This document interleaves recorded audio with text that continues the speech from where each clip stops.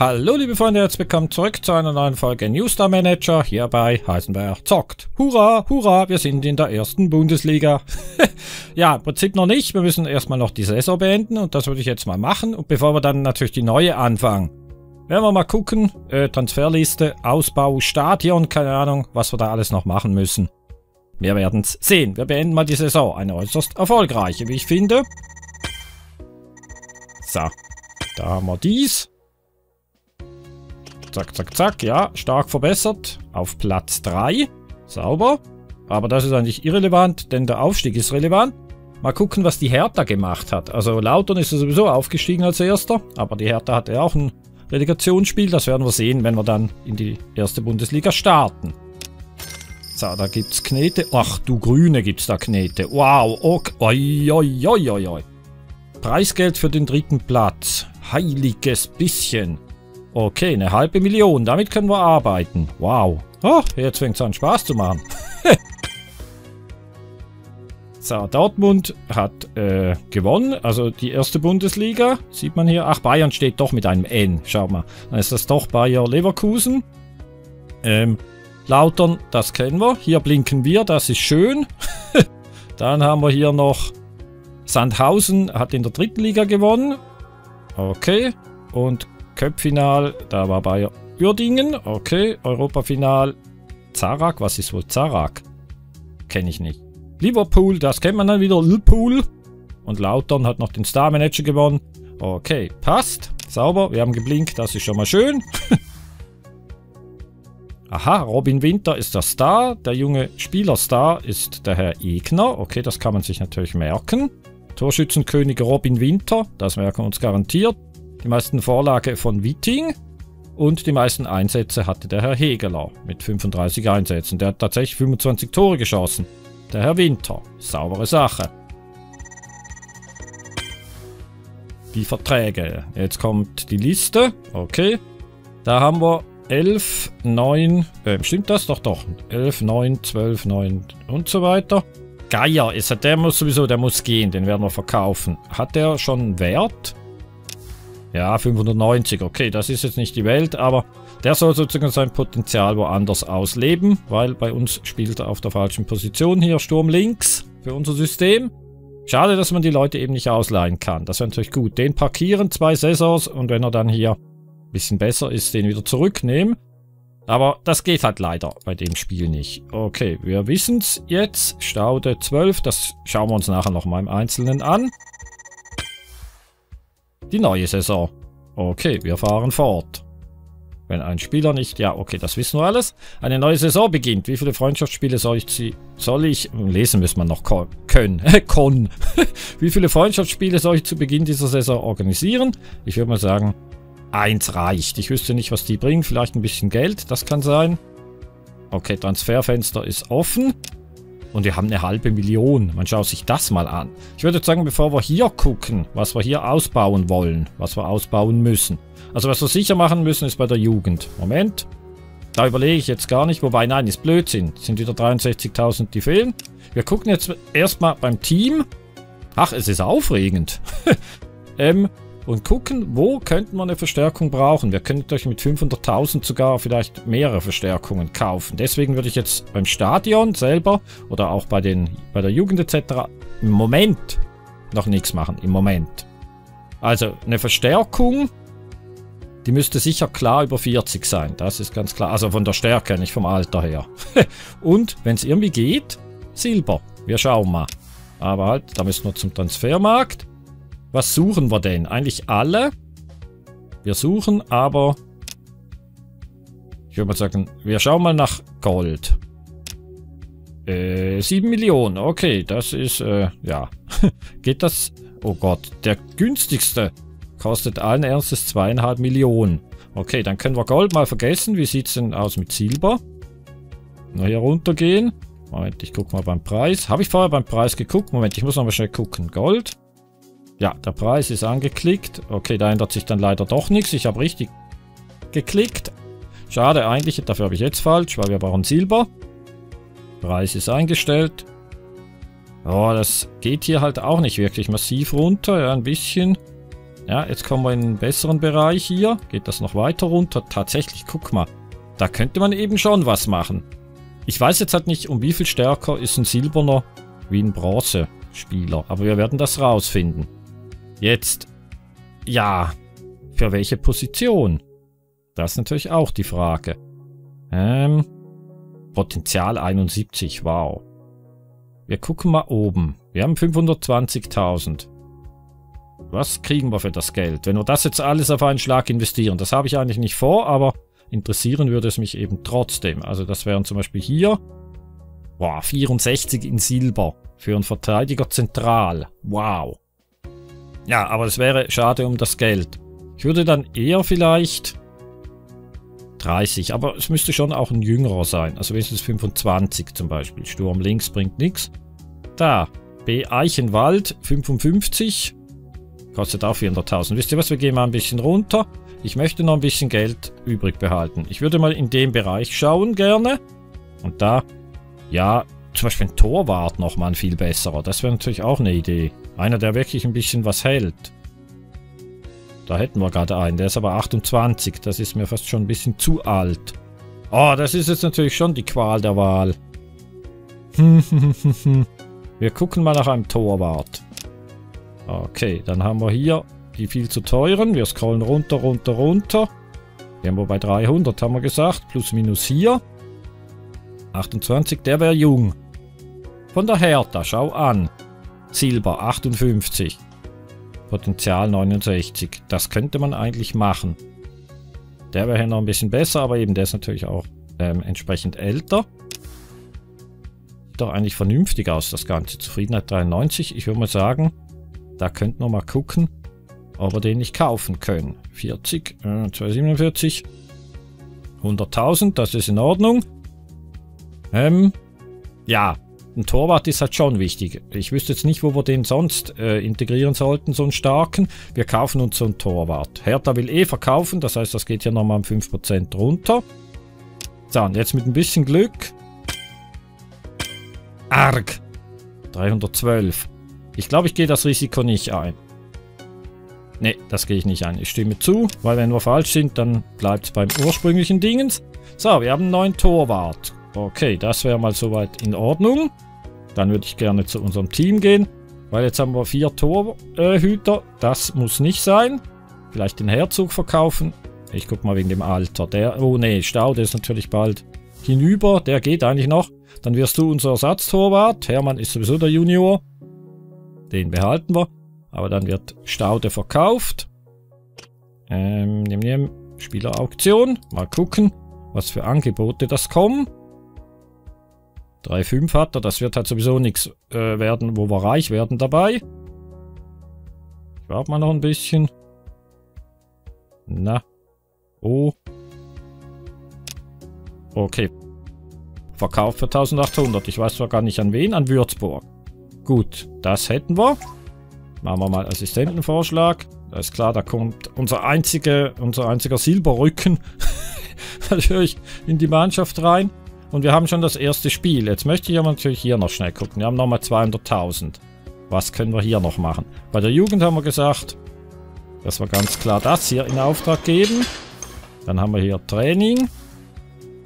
Reduziere mit silbernen Fertigkeitskarten. Oh, da wäre das Geld schon weg. Nein. Möchte ich nicht. Dann haben wir hier die Fitness. Ach, den Dingens noch entlassen. Ich muss mal schnell gucken. Reduzieren mit bronzenen. Äh, die Abklingzeit. Äh, nein. Jugend haben wir. Medizin. Was haben wir hier Schönes? Verkürze die maximale Verletzungszeit um 15. Ist mir auch zu teuer für den Moment. Werden wir später aber sicher noch einrichten. Und dann haben wir hier noch den Scout. Finde ich jetzt nicht so massiv wichtig. Nein, lassen wir. Werden wir auch später machen. Und hier haben wir noch den Fanshop, der ist wieder wichtig. Schalte einen zweiten Kurzzeitsponsorplatz frei. Dann haben wir aber alles Geld ausgegeben.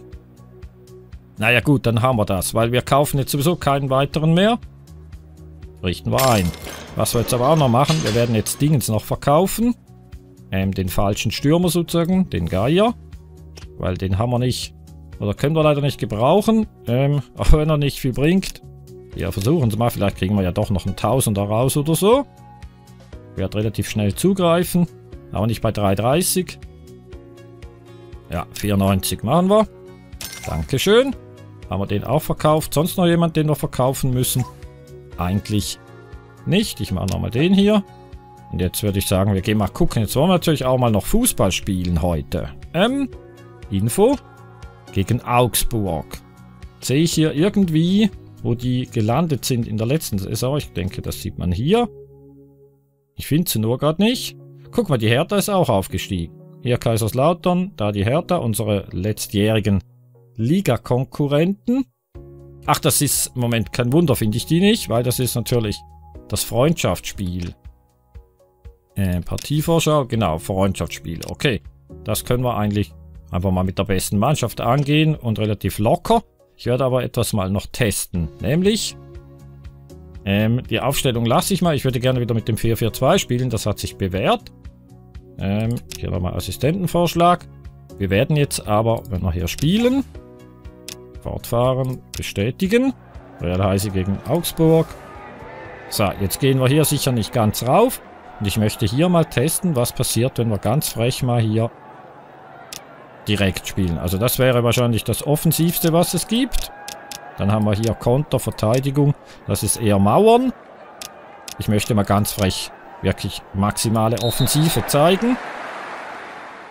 So, und den werde ich direkt mal versuchen zu versenken. Ist ein bisschen weit weg, ist mir klar, aber es ist ein Freundschaftsspiel. Wir testen das einfach mal.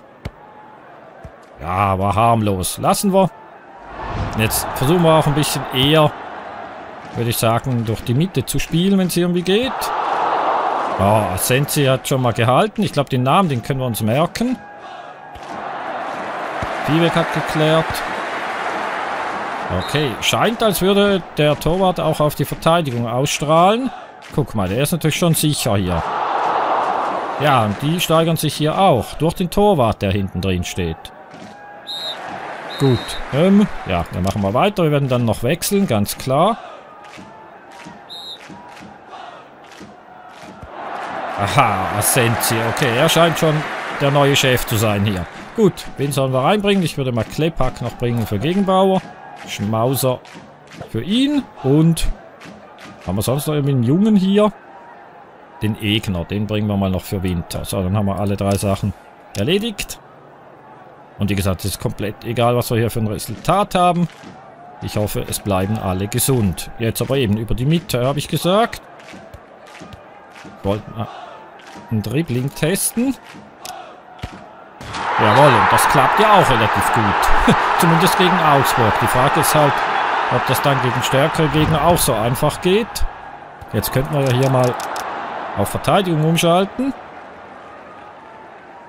Passiert in dem Sinn nichts mehr. Okay, 1 zu 0 gewonnen. War aber eben nur, ja guck mal, eine verblüffende Show von Ascensi. Ja, der ist natürlich, der ist im Prinzip eine Klasse stärker wie die anderen. So, fortfahren. Ja, die sind jetzt doch spendabler als auch schon. Okay, was brauchen wir? Ähm, wir nehmen die, damit wir für den Moment gerüstet sind. Okay, Ziele. Äh, mhm, mhm. okay, wir nehmen das mal zur Kenntnis. Wir sind in der obersten Liga, es wird schwierig genug. Fortfahren. Ähm, der Dan hat nur noch ähm, einen Vertrag über 10 Spiele. Wir könnten hier die Karte einsetzen. Jawohl, das klappt schon mal. Jetzt möchte ich hier aber noch grundsätzlich gucken, wie das aussieht äh, mit den Verträgen. Team, Info, Teamdaten, Vertrag, 8 Wochen. Oh, der Winter. Ja, den brauchen wir natürlich dringend auch. Bei dem würde ich glaube mal noch die andere Karte verbraten. Oder sollen wir hier nochmal gucken? Wir gucken bei dem. Weil das sieht gar nicht schlecht aus. Das müsste eigentlich funktionieren. S23. Wir brauchen den natürlich dringend. Vertrag erneuern. Ja, ich wusste es. Okay, Pech gehabt. Da kommt aber auch immer die falsche Zahl. Es ist ein Elend. Gut, der bleibt. Ähm, 12. Haben wir hier bei der Kunje. Da können wir noch ein Momentchen Geduld haben. Gut, wir gehen hier raus. Und ich würde sagen... Oh ja, schaut mal an, wer der nächste Gegner ist. Alte Bekannte, die Hertha. Gegen die haben wir bei der unteren Liga ähm, zumindest das letzte Direktduell verloren. Deswegen sind wir auch nicht direkt aufgestiegen, weil wir ja die beiden Spiele gegen die Spitzenreiter nicht gewonnen haben. Aber okay, die Karten werden neu gemischt. Ne, wir haben noch ein Dilemma. ähm, Beziehungsverbesserung mit dem Vorstand und eine Karte. Oder mit dem Sponsor und eine Karte. Ich würde eigentlich eher mit dem Vorstand. Ja, das sieht doch gut aus. Was haben wir für ein Kärtchen? Einspruch. Gut, falls wir irgendwie von roten oder gelben Karten geplagt werden. Ähm, da kommt noch ein Sponsor. Oh, jetzt wird's interessant. Ui, 600.000. Echt jetzt? Echt die Zahlen 600.000 und dann pro Sieg? Ja, wir müssen natürlich, weil wir hier in der obersten Liga sind und wahrscheinlich doch eher mal verlieren werden, ganz klar das hier nehmen. Das ist Geld, was wir gleich bekommen. Weil über die Siege zu gehen, das macht keinen Sinn, wenn man wahrscheinlich sowieso nicht unbedingt allzu viel gewinnen wird. Ja, zack. Ui, kriegen wir das jetzt tatsächlich direkt rein? Hui. Wow, und schon haben wir wieder Geld. Okay, mir gefällt es in der Bundesliga. Definitiv. Fortfahren. Ähm. Zwei Spiele. Was?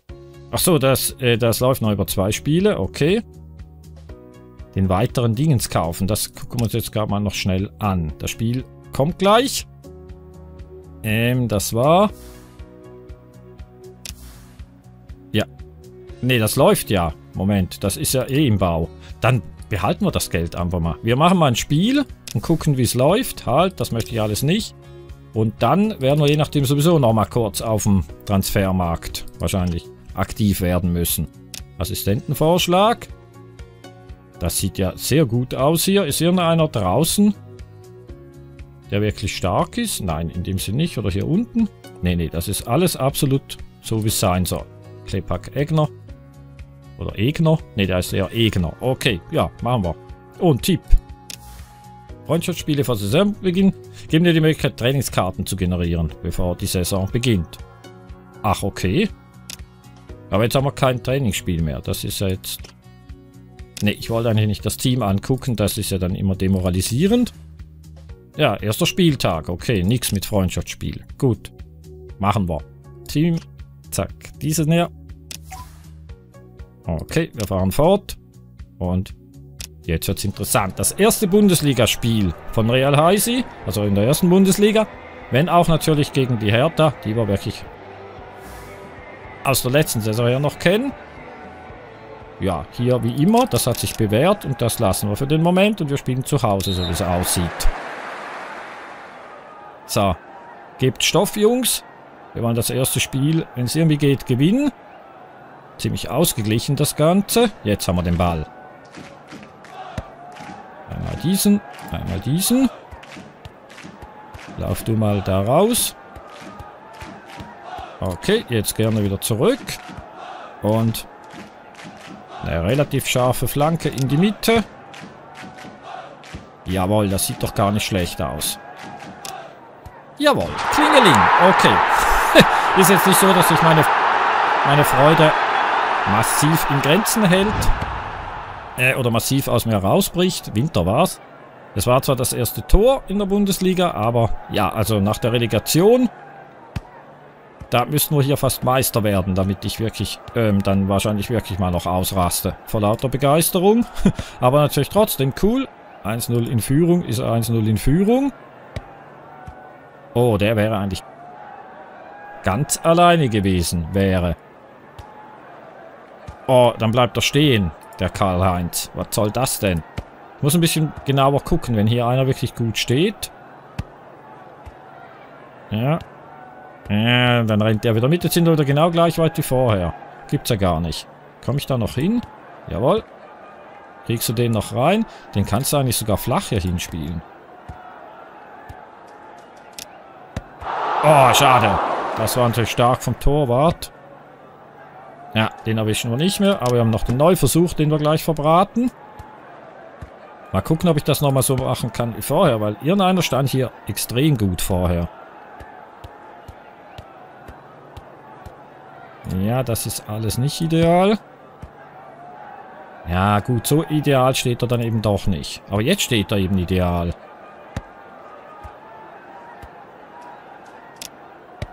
Oh, ja, der ist natürlich tatsächlich stark, der Torwart. Das war schon die zweite relativ gute Parade. Den hauen wir mal so rein. Gerne mit ein bisschen Drall. Ja, das war aber ein komischer, ganz ein komischer Eckball. Versuch's mal mit einem Direktschuss. Ja, okay, soviel zum Thema. Na, daneben nicht. Aber wir sind immer noch 1-0 vorn. Was soll's? So, Halbzeit. Ja, ist okay, ist okay. Wir werden dann später vielleicht noch wechseln. Ja, machen wir weiter.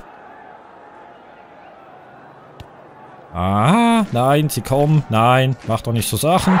Hui. Da konnte nicht mal mehr Ascensi. Äh, oh ja, jetzt geht's aber los. Come on, Jungs. Was soll das denn? Vom 1 zu 0 zum 1 zu 2. Und das gegen den Mitaufsteiger. Das dürfen wir uns eigentlich nicht bieten lassen. Sagen wir ja mal noch kurz Kollege Egner reinnehmen für gegen Bauer. Okay, hier hinten lassen wir das Ganze. So, wir haben den Ball. Jetzt laufen wir tatsächlich in einem Rückstand hinterher. Das gibt's ja gar nicht. Hm. Nee, da komme ich wieder nicht dran vorbei. Der wird grätschen. Da komme ich auch nicht hin. Mal ein bisschen laufen. Ja, die Grätschen. Keine Chance, da was zu machen. Gehen wir mal hier hinten rum. Hm. Moment. Ne, der steht im Abseits. Das wäre definitiv keine gute Idee. Jetzt steht er nicht mehr im Abseits. Das heißt, wir gucken mal. Ja, das ist ja wohl nicht zu glauben. Steht der doch tatsächlich im Weg. Aber wir haben den Ball wieder. Geschickt zurück. Erkämpft. So, du hast Platz. Leg den nochmal zurück. Und jetzt flanken wir mal von hier, würde ich mal vorschlagen. Das haben wir so, glaube ich, noch gar nie gemacht. Ja, gar nicht so verkehrt. Äh, wenn, dann irgendwie so. Jetzt bin ich gespannt. Ui, schönes Tor, ungewöhnliches Tor. Und eigentlich frech, so in die nahe Ecke zu köpfen, wenn auf der anderen Seite eigentlich mehr Platz ist. Egner war es, der Eingewechselte. Wir haben wieder den Ball. Wir könnten doch noch zu einem Sieg kommen, wenn das alles so funktioniert, wie ich mir das vorstelle. Ah, sie haben immer so ewig lang, bis sie sich gedreht haben, die Jungs. Das müsste man in einem Training mal nochmal ein bisschen besser machen. Lauf du mal so. Und du läufst so. Und der Ball kommt so. Ein Schuss darunter. Oh, darüber. Ah, ich habe ein bisschen zu weit unten geklickt. Aber der Schuss kam tatsächlich durch. Hätte ich jetzt ehrlich gesagt nicht mal gedacht. Wir wechseln nochmal kurz. Viehweg muss raus. Das heißt, wir müssen hier kurz umstellen. Ähm, du gehst hier in die Mitte und Schmauser kommt. Ähm, Mittelfeld links. Jetzt habe ich den falschen erwischt. Eigentlich wollte ich da Kunja. Kann ich da nochmal? Jawohl. Nee, kann ich nicht. Geht das echt nicht? Wäre natürlich die Höchststrafe. Nee, geht nicht. Das war ja jetzt ganz clever. Jetzt habe ich den falschen Spieler erwischt. ich wollte da Kunja haben. Ah, Mittelfeld links. Wenn ich dich verschiebe. Ja, dann ist er hier natürlich mal falsch. Ich gucke mal, ob das geht. Okay, das geht. Kann ich jetzt vielleicht da Kunja noch für ihn hier? Ja, jetzt klappt. Es war natürlich jetzt einfach eine Auswechslung zu viel. Jetzt haben wir alle eingesetzt, aber okay. Ja, die möchten wir behalten, die Änderung.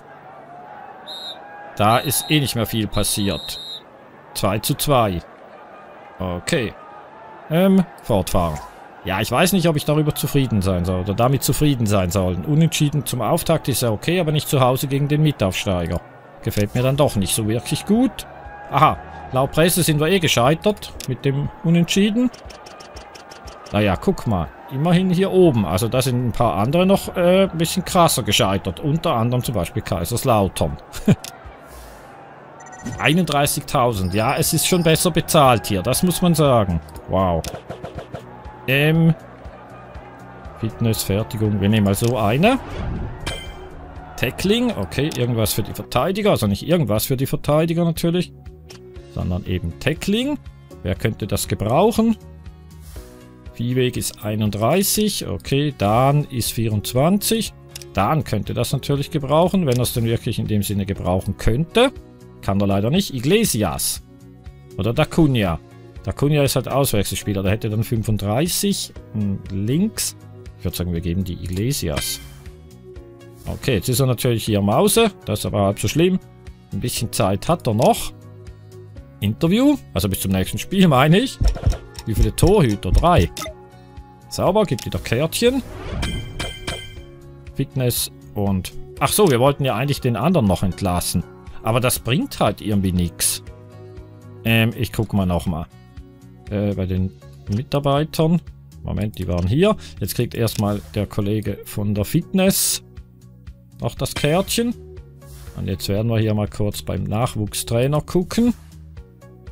Okay, der hat sowieso nur noch 8 Wochen. Der ist natürlich relativ stark, aber ist halt Bronzen. Also wenn wir jetzt einen besseren wollen, dann müsste der silbrig sein. Und die Frage ist halt, wie kommen wir hier an silbrige? Das wird tatsächlich irgendwie über, die, über das Stadion wahrscheinlich funktionieren. Bei der Jugend. Und da sind wir ja dran. Da bauen wir ja gerade aus. Ja, da müssen wir hier noch ein bisschen Geduld haben. Wir haben noch ein Angebot. 34.000 für Dacunia. Wir prüfen das mal. Okay, er ist 21, Potenzial 59. Mhm. Alles klar soweit. Wir schauen mal. Dacunia Verteidigung links. Wir haben hier 1, 2.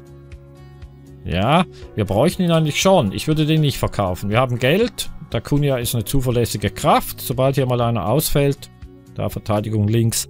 Eben, wir haben Weiß natürlich noch, den könnten wir rüberziehen. Aber nee, nee, den behalten wir, ganz klar. Gut, ähm, dann haben wir hier schon das Spiel.